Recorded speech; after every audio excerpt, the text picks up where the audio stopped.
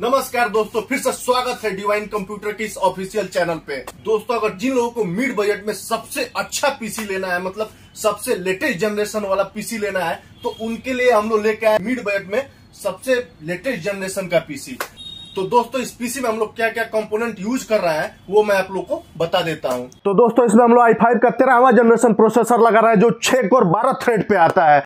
अगर बात करें हम लोग मदरबोर्ड के बारे में तो इसमें हम लोग गीगाबाइट का बी सात सौ साठ M gaming DDR four motherboard use कर रहे हैं।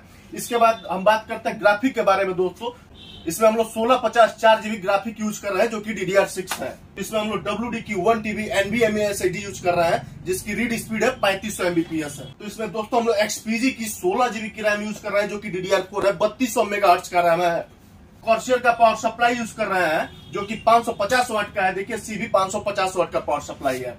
इसमें 27 इंच का हम लोग मॉनिटर भी दे रहे हैं, जिसका रिफ्रेश रेट 165 है, जो आईपीएस पैनल पे है।